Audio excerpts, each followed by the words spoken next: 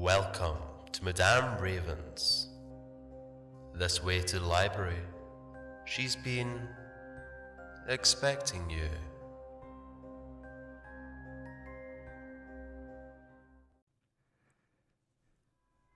The Doom That Came to Sarnath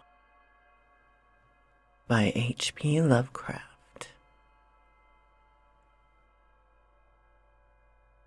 There is in the land of Minar a vast, still lake that is fed by no stream, and out of which no stream flows. Ten thousand years ago, there stood by its shore the mighty city Sarnath. But Sarnath stands there no more. It is told that in the immemorial years, when the world was young, even before the men of Sarnath came to the land of Minar, another city stood beside the lake, the gray stone city of Ib, which was old as the lake itself and peopled with beings not pleasing to behold. Very odd and ugly were these beings. Indeed, as are most beings of a world yet inchoate and rudely fashioned. It is written on the brick cylinders of Kadatheron that the beings of Ib were in hue as green as the lake and the mists that rise above it. That they had bulging eyes, pouting flabby lips, and curious ears, and were without voice. It is also written that they descended one night from the moon in a mist. They and the vast still lake and gray stone city of Ib. However this may be, it is certain that they worshipped a sea green stone idol, chiseled in the likeness of Bokrug, the great water lizard, before which they danced horribly when the moon was gibbous. And it is written in the papyrus of Ilarnek that they one day discovered fire and thereafter kindled flames on many ceremonial occasions. But not much is written of these beings, because they lived in very ancient times, and man is young and knows but little of the very ancient living things. After many eons, men came to the land of Minar, dark shepherd folk with their fleecy flocks, who built Thraa,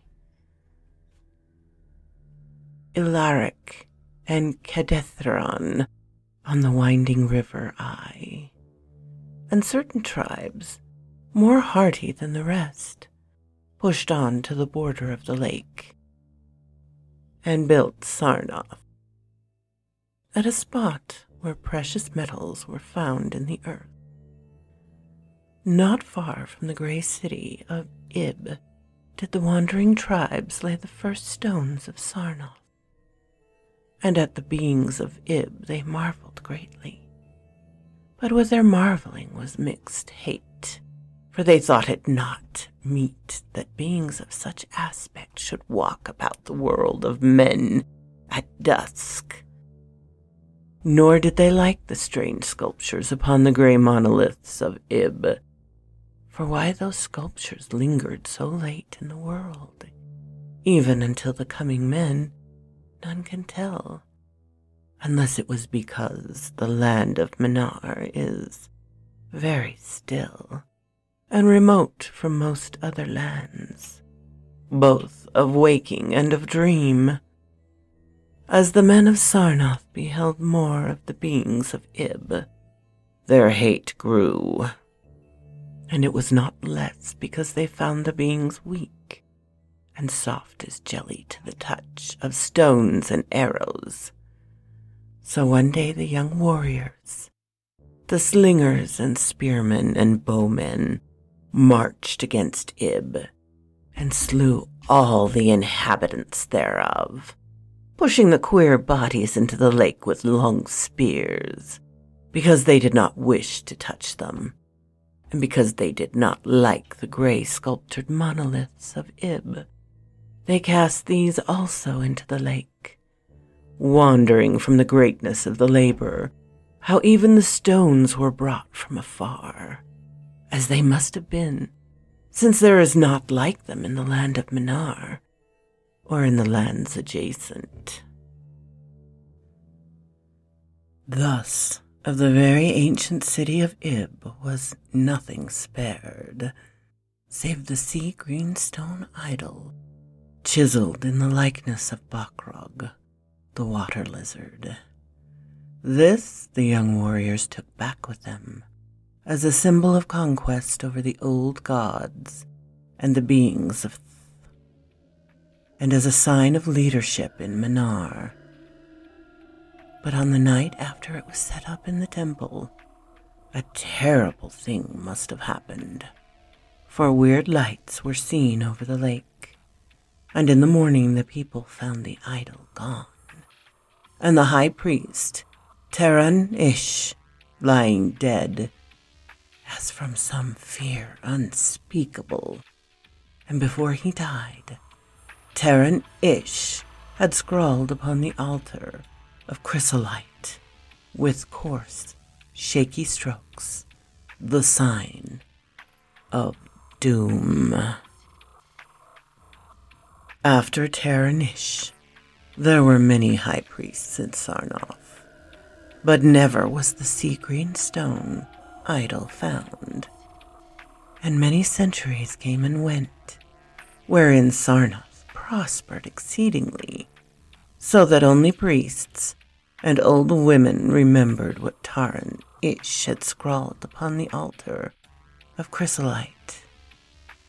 Betwixt Sarnath and the city of Ilarnek arose a caravan route, and the precious metals from the earth were exchanged for other metals, and rare cloths, and jewels, and books, and tools for artificers, and all things of luxury that are known to the people who dwell along the windy River Ai and beyond. So Sarnath waxed mighty and learned and beautiful, and sent forth conquering armies to subdue the neighboring cities. And in time, there sat upon a throne in Sarnath the kings of all the land of Minar and of many lands adjacent. The wonders of the world and the bride of all mankind was Sarnath the Magnificent. Of polished desert quarried marble were its walls, in height three hundred cubits, and in breadth seventy five so that the chariots might pass each other as man drove them along the top. For full five hundred stadia did they run, being open only on the side toward the lake, where the green stone sea wall kept back the waves that rose oddly once a year at the festival of the destroying of Ib. In Sarnath were fifty streets from the lake to the gates of the caravan, and fifty more intersecting them. With onyx they were paved, save those whereupon the horses and camels and elephants trod, which were paved with granite. And the gates of Sarnath were as many as the landward ends of the street, each of bronze, and flanked by figures of lions and elephant carven from some stone no longer known among men. The houses of Sarnath were of glazed brick and chalcedony, each having its walled garden and crystal lakelet. With strange art were they builded, for no other city had houses like them, and travelers from Thraa and Ilarnek and Kadatheron marveled at the shining domes wherewith they were surmounted. But more marvelous still were the palaces and temples, and the gardens made by Zokkar, the Olden King. There were many palaces, the last of which were mightier than any in Thraa, or Ilarnek, or Kadatheron. So high were they that one within might sometimes fancy himself beneath only the sky. Yet when lighted with torches, dipped in the oil of Dothur, their walls shone vast paintings of kings and armies, of a splendor at once inspiring and stupefying to the beholder. Many were the pillars of the palaces, all of tinted marble and carven into design of surpassing beauty. And in most of the palaces, the floors were mosaiced of beryl and lapis lazuli and sardonyx and carbuncle and other choice materials, so disposed that the beholder might fancy himself walking over beds of the rarest flowers. And there were likewise fountains which cast scented waters about in pleasing jets, arranged with cunning art. Outshining all others was the palace of the kings of Minar and of the lands adjacent. On a pair of golden crouching lions rested the throne, many steps above the gleaming floor, and it was wrought of one piece of ivory though no man lives who knows whence so vast a piece could have come. In that palace there were also many galleries, and many amphitheaters where lions and men and elephants battled at the pleasure of the kings.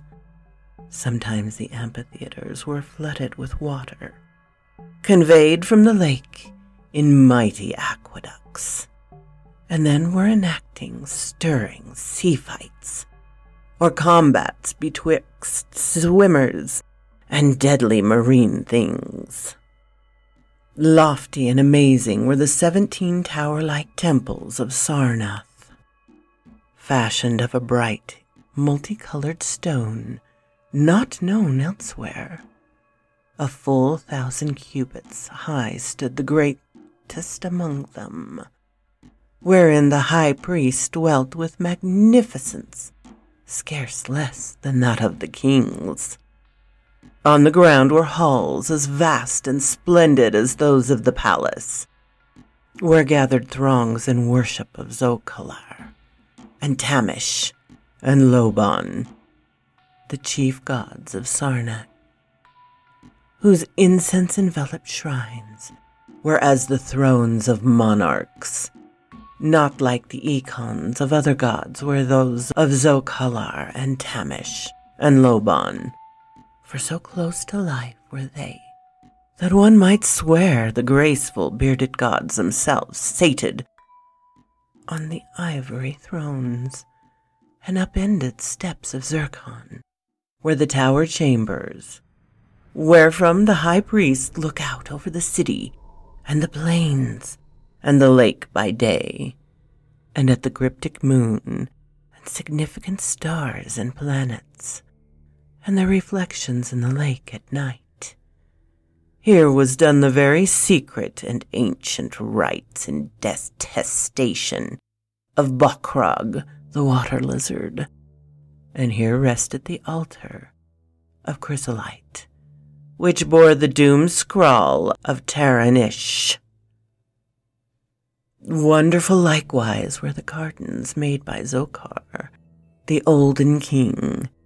In the center of Sarnath they lay, covering a great space encircled by a high wall, and they were summoned by a mighty dome of glass, through which shone the sun and moon and planets when it was clear, and from which were hung fulgent images of the sun and moon and stars and planets when it was not clear. In the summer, the gardens were cooled with fresh, odorous breezes skillfully wafted by fans, and in the winter, they were heated with concealed fires, so that in those gardens it was always spring.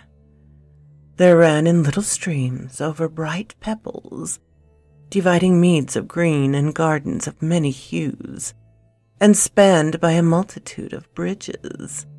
Many were the waterfalls in their courses, and many were the hued lakelets into which they expanded. Over the streams and lakelets rode white swans, whilst the music of rare birds chimed in with the melody of the waters. In ordered terraces rose the green banks, abandoned here and there with bowers of vines and sweet blossoms, and seats and benches of marble and porphyry. And there were many small shrines and temples where one might rest or pray to small gods. Yet each there was celebrated in Sarnath, the feast of the destroying of Ib, at which time wine, song, dancing, and merriment of every kind abounded Great honors were then paid to the shades of those who annihilated the odd ancient beings, and the memory of those beings and of their elder gods was derided by dancers and lutanists crowned with roses from the gardens of Zokkar. And the kings would look out over the lake and curse the bones of the dead that lay beneath it at first, the high priest liked not these festivals, for there had descended among them queer tales of how the sea green icon had vanished, and how Taran-Ish had died from fear and left a warning. And they said that from their high tower they sometimes saw lights beneath the water of the lake. But as many years passed without calamity, even the priests laughed and cursed and joined in in the orgies of the feasters. Indeed, had they not themselves, in their high tower, often performed the very ancient and secret rite in detestation of Bokrug, the water lizard, and a thousand years of riches and delight passed over Sarnath, wonder of the world. Gorgeous beyond thought was the feast of the thousandth year of the destroying of Ib. For a decade it had been talked of in the land of Minar, and as it drew near, there came to Sarnath on horses and camels and elephants men from Thraa, Ilarnek, and Kadatheron, and all the cities of Minar and the lands beyond. Before the marble walls of the appointed night were pitched the pavilions of princes and the tents of travelers. Within his banquet hall reclined Nargis-Hei, the king, drunken with ancient wine from the vaults of conquered Pnoth, and surrounded by feasting nobles and hurrying slaves. There were eaten many strange delicacies at that feast.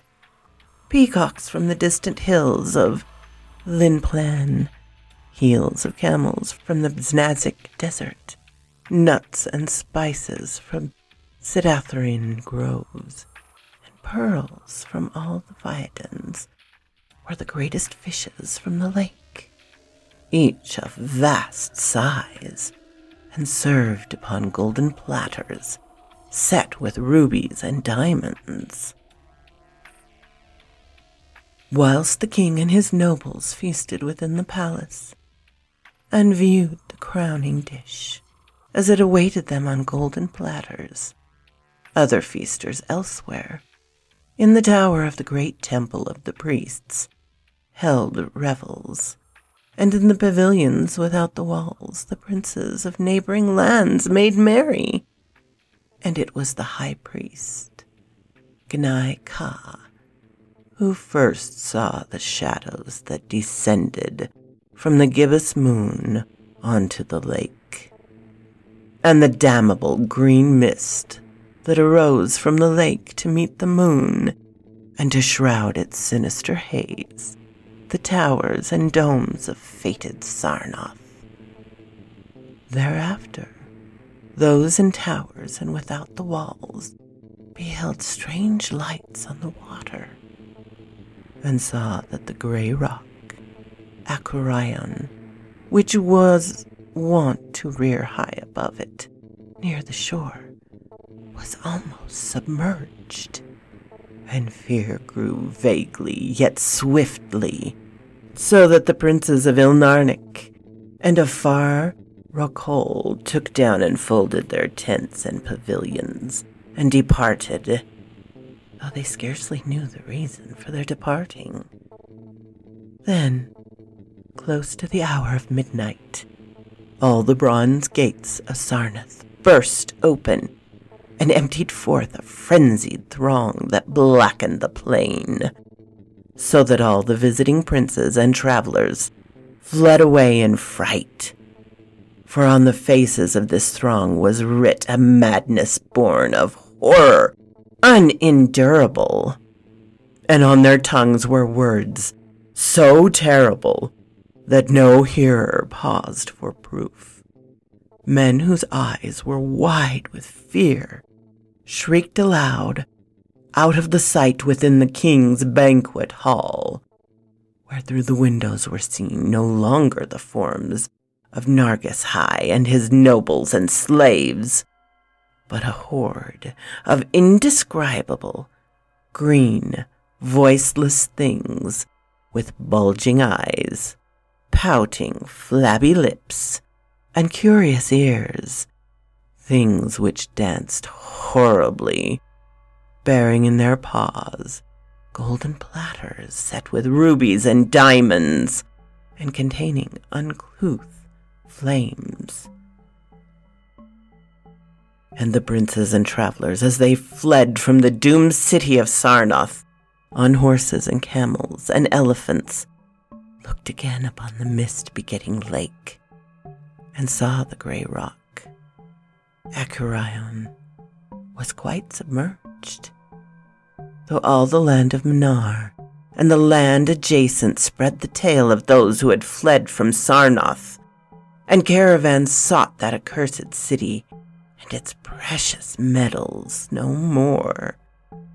It was long ere any traveler went thither, and even then, only the brave and adventurous young men of yellow hair and blue eyes, who are no kin to the men of Minar.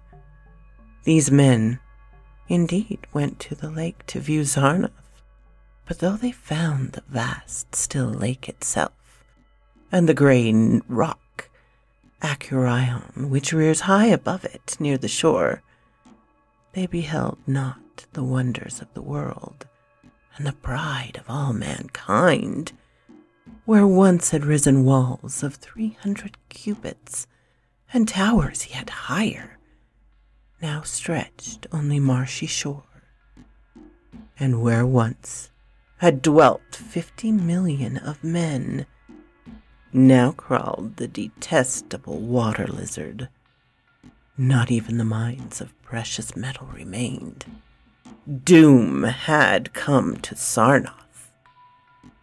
But half buried in the rushes was spied a curious green idol, an exceedingly ancient idol chiseled in the likeness of Bokrug, the great water lizard. That idol, enshrined in the high temple at Ilarnek, was subsequently worshipped beneath the gibbous moon throughout the land of Minar.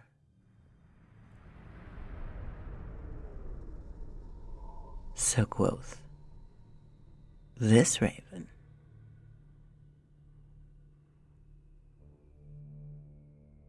My darlings, it is coming close to my 1500 mark. And so I think I shall soon give away either a t shirt or a mug of the person who wins choosing. In order to do that, please like this video and comment. And please share it if you would anywhere on your social media so we can get a few more subscribers on here. That would be great. I'm not very good at uh, advertising myself for some reason. And everybody that likes and comments on this video, I will get their names down and I will do a live stream very, very soon. Probably, maybe tomorrow, if not Monday. And I will do a live stream and pull out the winner. Thank you all for coming. I love Lovecraft. He is a very dramatic read, which I love to do. I hope it wasn't too corny for you. A special thanks to my Patreon supporters, Ermin Case, Darren Daw, and Laura Seteprany.